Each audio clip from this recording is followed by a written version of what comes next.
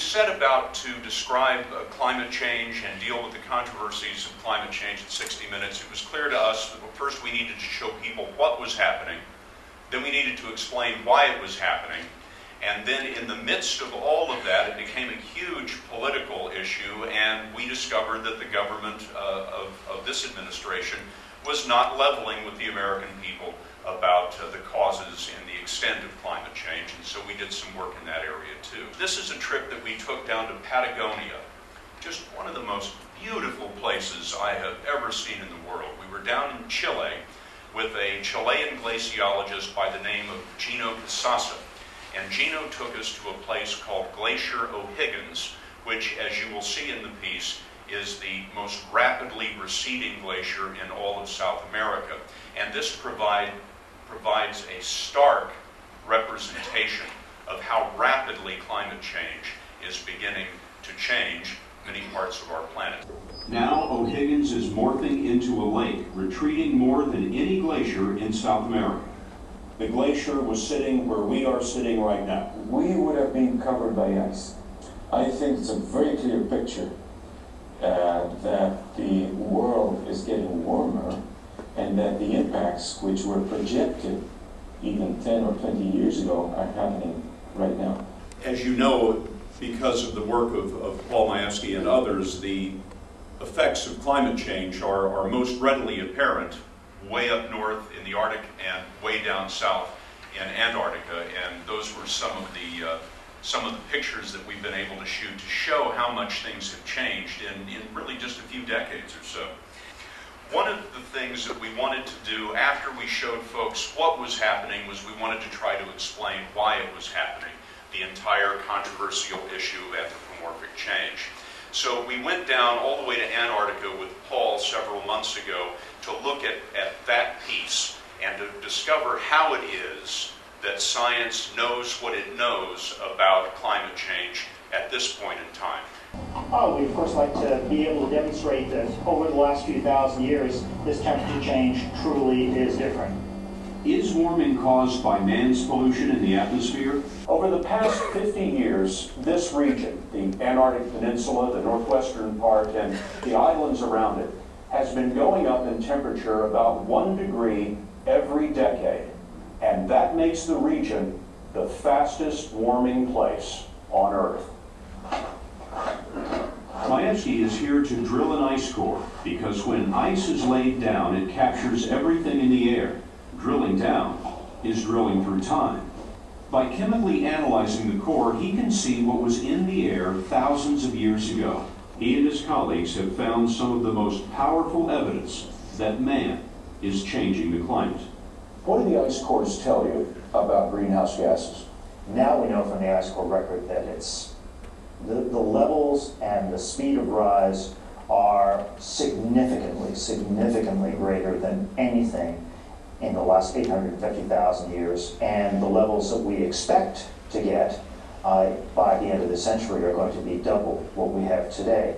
Over the last several years, as the evidence for climate change has become more and more compelling, it seemed that the Bush administration was more and more determined to blunt this information and keep scientists from telling what they knew, government scientists in particular, which is, of course, a tremendous violation of the principle of scientific freedom and scientific truth. So we began to delve into that with uh, one of the best climate scientists in the world, and that's James Hansen who is the head of the Goddard Research Center uh, in New York City, which is part of NASA. Hansen has done groundbreaking work on climate change for many, many years. He was one of the very first people to notice uh, what was happening and to put the uh, to connect the dots into why it was happening. But Hansen began to find, as he told the public what he, what his research and what his research institute was finding, that the administration started to lean on him to stop telling people what he knew. Here is uh, James Hansen in our piece about the Bush administration's view of climate change. You believe that the administration is censoring what you can say to the public. Well, they, they're censoring whether or not I can say it. I mean, I, I, I say what I believe, if I'm allowed to say it. What James Hansen believes is that global warming is accelerating. He points to the melting Arctic and to Antarctica, where new data show massive losses of ice to the sea. Is it fair to say at this point that humans control the climate? Is that possible? There's no doubt about that. The natural changes, the speed of the natural changes is now dwarfed by the changes that humans are making to the atmosphere and to the surface. Those human changes, he says, are driven by burning fossil fuels, which pump out greenhouse gases like CO2, carbon dioxide. Hansen says that his research shows man has just 10 years to begin to reduce greenhouse gas emissions, or global warming will reach what he calls a tipping point and will become unstoppable. He says the White House is blocking that message. That was an example of the administration trying to suppress the information about climate change, but we discovered that there was something even more egregious going on, and that was actually rewriting the science to, to change what the scientists were writing before it got out into the public and before it got out to Congress. Uh, we found a uh, government science writer by the name of Rick Piltz, who worked in the Clinton administration, worked in the Bush administration, and his job was to write science reports for the public and for the Congress. And one of his areas of special expertise is climate change. And he was in charge of writing an annual document which is required by law, required by the Congress, called Our Changing Planet. It's essentially a compilation of everything that we know about climate change in order to report to the Congress so they can make decisions about it. Well, after a certain point, Rick discovered that his science writing was getting heavily edited over at the White House. So we, uh, we got a hold of Rick. He sat down for an interview with us, and uh, he had kept the originals of all of the documents that he had and reports he had written as they came back from the White House. And so we were able to feature some of the editing that was going on in those reports. Here's Rick Piltz. large number of edits, handwritten on the hard copy by the chief of staff of the Council on Environmental Quality, And the chief of staff is who? Phil Cooney.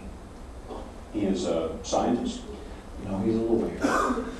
He was a lobbyist for the American Petroleum Institute before going into the White House. Phil Cooney, the former oil industry lobbyist, became chief of staff at the White House Council on Environmental Quality. Piltz says Cooney edited climate reports in his own hand. Here, a line that said Earth is undergoing rapid change becomes maybe undergoing change. Uncertainty becomes significant remaining uncertainty. This line that says energy production contributes to warming is just crossed out. Phil Cooney, the editor of those climate documents, uh, left the White House not long after that report and uh, went to work at Exxon. what we glean from all of this, I mean, clearly there's been an enormous sea change in this country, I would say, in just the last four years, where the information about climate change has become so overwhelming that efforts to blunt that, efforts to bury that, efforts to hope that if you just wrote the reports a different way, climate change would go away, all of those efforts have come to nothing.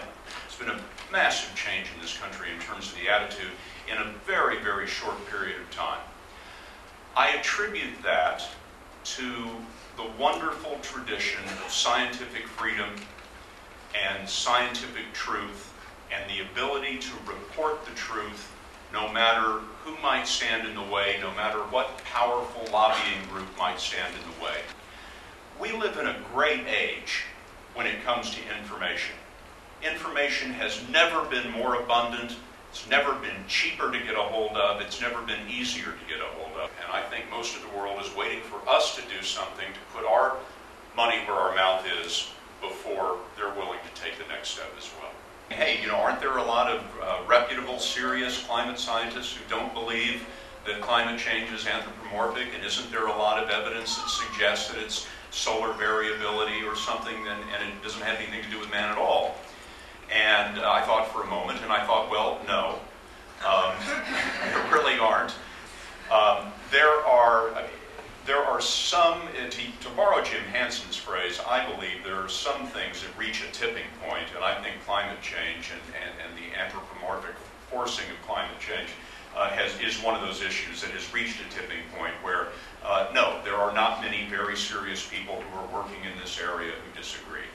I started my career working in the Antarctic like a lot of other people in, in this room, and we thought it was a place that could never change.